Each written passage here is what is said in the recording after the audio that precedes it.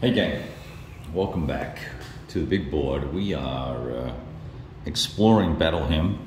I apologize for the air conditioner in the background, but it's sticky and wet and muggy and 78 in my room down here, so I need a little cool air.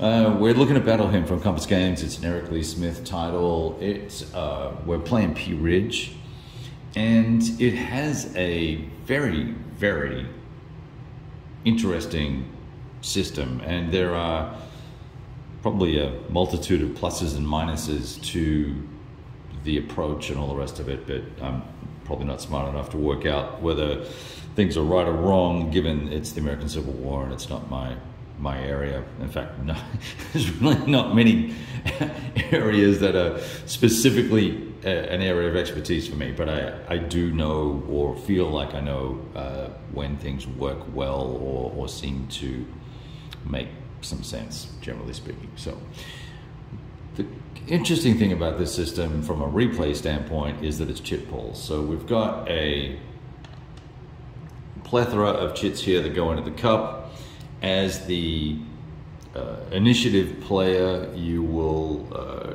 have this little token here, and you'll get to keep one of your chits out.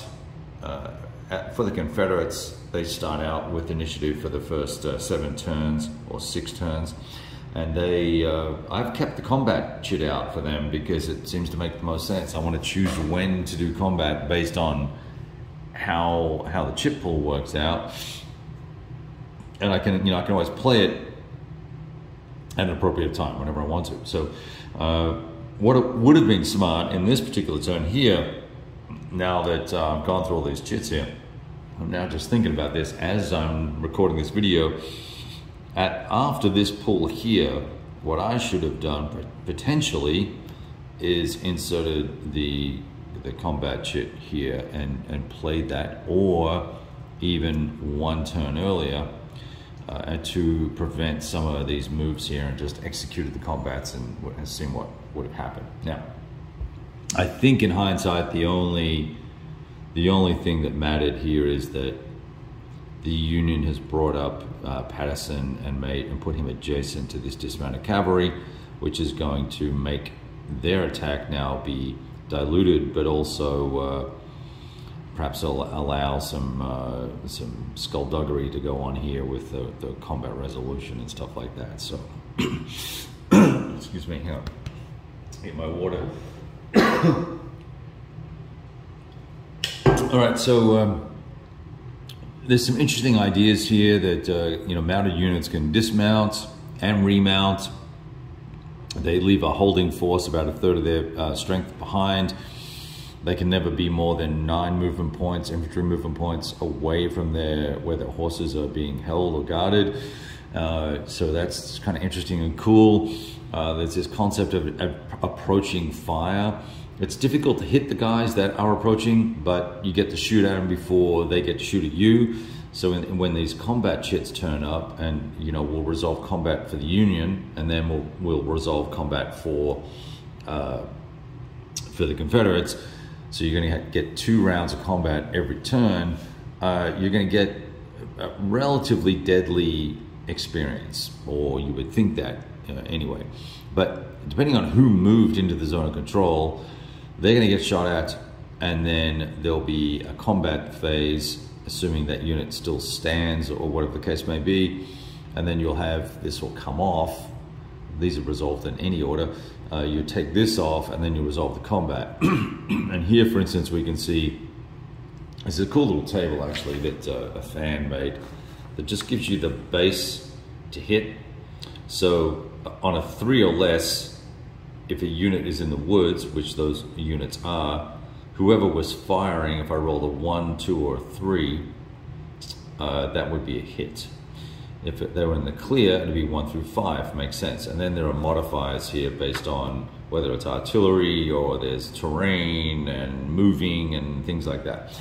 So what can be interesting, it, what's interesting then is in, if, if I just was going to attack into here, I don't really want to just bring one unit because that means I can do this approaching fire. I can put all six combat factors against this guy, which means I'm rolling six dice and I have six chances to roll between one and three. So it's better for me to bring another unit in and uh, uh, indeed another unit here and make make this guy split this fire. So depending on who's resolving the combat first, and this is where this is where this matters now that I brought this out as I'm talking through this. I'm starting to I'm starting to have these little aha moments here. I, I've now sort of transferred the resolution of all these approaching fires into the hands of the union. So given that I'm playing solo, we might uh, we might just say to hell with that and uh, and change that. Let's let's see. Uh, nevertheless, just as a general commentary on uh, mechanics here, right? So this this approaching fire, hard to hit the guys, but you've got to split your fire across all the guys that are in your zone of control. Take this one off, then do the next one, and then you resolve the engagements uh, or combats. Um, and, and this is where the rules get a little they're not unclear, but they're not precise. And they're, I think what happens, so we do this approaching fire. Well, you, you'll do approaching, you'll do bombardments if there's artillery, and then you'll do approaching fire, and then you'll do these, um, that might be the right order. I, I don't have the sequence of play in front of me, but there's a combat sequence of play that tells you what to do. Let me just check. Yes. Uh, retreats before combat, attack a bombardment, uh, attack a retreat before combat, approaching fire. Uh, so, that, so yes, so that's correct. So bombardments then approaches, and then you do these engagements. Uh, is that correct? Yeah, you do. You determine the engagement. So mark engagement using an engagement marker. Uh, I didn't see those now uh, in in the in the counter mix. Actually, I didn't see engagement markers. That's curious. I wonder if they're over here. And, and, there's some funky things in some of these charts that I, I'm not 100% certain that full due diligence has been done. But okay, there's an engagement marker somewhere. Maybe it's on the back of these. Nope. Uh, so whatever. You put these engagement markers that don't exist down or they exist somewhere in this counter sheet and set that I'm looking at. I just, I can't see them. I've not noticed them. There are demoralization markers strength point markers and hit markers. And then you get, so what's gonna happen is when uh, these guys fire at these guys, there's gonna be a number of hits applied to a unit. Let's shoot at this guy. There's a number of hits applied based on the number of dice that are rolled and, and the to hit number. I get two hits. So I do a morale check here, and these guys got a, a roll for morale. And they get a minus two, and uh, I'm just gonna zoom in a little bit here. Sorry about the jagginess there. So, uh, uh, so I've got to do morale check. if I pass the morale check, all whatever those hits are, I get them. Uh, they are received as demoralizations. That's pretty cool. But if I fail the morale check, I lose a step. I will lose one step. So I would then replace that dude with a three, if I could find a three real quickly. So this four would become a three, and the other demoralization would be a 1. Once I reach the strength point number, the unit is shattered and it goes off the board.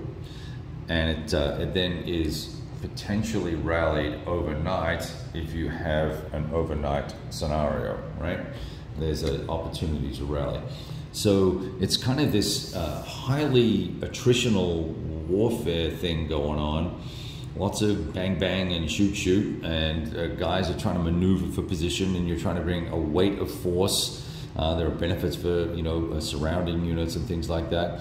But you're trying to you're trying to dissipate the firepower of this guy so that you can consolidate your firepower and do you know eight rolls against this guy, then four rolls from this guy, although he would have to split because he'd have to attack this guy too. But you see what you see how that kind of works. So that starts to really drive at some of the core tactical things that needed to happen uh, in, in, this sort of almost post-linear combat, right? Uh, we're, we're almost out of forming lines where with a lot more skirmishes, a lot more guys taking cover, better ranges on the weapons, higher rates of fire, and so we're we're almost post-linear, or, or what I would call literally post-ancients, right? Uh, but we were still basically fighting the same as Napoleon did, and the same as, as Alexander the Great. But in the in this really awkward terrain, that causes a, a huge uh, huge challenge. You know, uh, you can imagine these lads all taking cover behind trees and uh, bushes and laying down and shooting and then trying to move forward and all that sort of fun stuff. So there's some tactical nuance that goes on with the. Um, I'm trying to think here with the uh, with the combat, uh, and the bombards all work the same. It's all based off a base hit number, so artillery and all the rest of it uh, work the same as infantry. It's just there are ranges that you can apply. Uh, cavalry against artillery, bad idea. You get all sorts of bonuses. Um, really promotes some interesting ideas. However, there are no, that I have seen, there's no command and control stuff going on here. So if I wanted to take at a brigade level with 300 yard hexes, if I wanted to take this brigade and just roll him down here, and have at it and try and take the uh, Pratt's store, one of the victory point locations, well, hell, no reason not to. I have not seen anywhere where it says these colored formations need to stay within a certain number of hexes of each other or within uh, range of a leader because there aren't leaders. The leaders are kind of represented by the divisional chits and when they pop out. Uh, that's curious uh, and maybe historically accurate. I don't know. Unsure about how that uh, how that all works. Have not read enough battle reports from the, uh, the, the American Civil War to be a judge. It's a D10 based system, so so you know these attacks here, trying to roll a one or a two, if I've got to split this fire, or a one, two, or three, that's pretty tough unless I'm getting some good mods uh, with the D10 system. What what's interesting is when you get uh, a great situation where uh, I've got some eight rated. This eight rated unit, if he was only being attacked by one guy, you know, the approaching fire, he's going to get eight dice thrown, and that would be pretty cool. It's going to be very deadly, right? The other thing that's a, a curiosity is that there's uh, it, there's victory points for demoralizations there's victory points for step losses and there's victory points for shattered and eliminated units, I think it is. And that's a lot of bookkeeping. There's these goofy little, uh, where are they? These goofy little markers that, let's see, yeah, so we've got this uh, demoralization, you know, 10 points, 20 points, 30 points. Uh, and I, I uh, look at those and here's, here's one for infantry. And I guess there's one for artillery in here. Here's one for artillery by side. So I'm supposed to keep track of this all during the game. I guess that's kind of cute instead of uh, having your standard uh, sheet with each formation and the uh, little check boxes. I don't know. I'm gonna have to write it down anyway. So the way I'm doing this is I'm playing the game and we'll see if someone wins based on physical locations and uh, the the uh, you know the uh, impact of the battle being being played right? So quick little update. We're on turn five. I'm just about to resolve all of this combat. I obviously now need to go back as I've as I've verbalized with you and had a, a, a moment and realized that, hey, the Confederates probably should have been a little more uh, nuanced in their, their choice of when they played this combat chit here with these uh, various divisions that were activated. It might be uh, it might be appropriate for me to uh, have a little Kevin do-over and pull it somewhere around here or even, excuse me, even here, insert this in here, execute the combat there, see what the results are. We can always take a happy snap and uh, then repeat it and do it here if we want. That's one of the great things about taking pictures and writing up your after action reports is you get to experiment with the history and the gameplay and how the systems are working, how the mechanics all come together and all the rest of it. So that ended up being a lot longer than I wanted it to be. I will also just, in wrapping up, say that I feel it. I feel this game being very, very immersive. I am drawn into it by its simplicity. I am drawn into it by its artwork and its its uh, its its nuanced terrain utilization and the combat modifiers and the sort of uh, you know historical artwork, uh, you know the, the the font usage and things like that it's all done pretty darn well. Uh, there are a couple of you know nitpicks with the rules and a few nitpicks with the charts and stuff like that. And obviously, it seems like there might be some engagement markers missing, uh, but you know, bygones. I, am calling it a, a winner already, uh, but uh, I haven't finished yet. So let's let's go see who wins. We'll talk soon.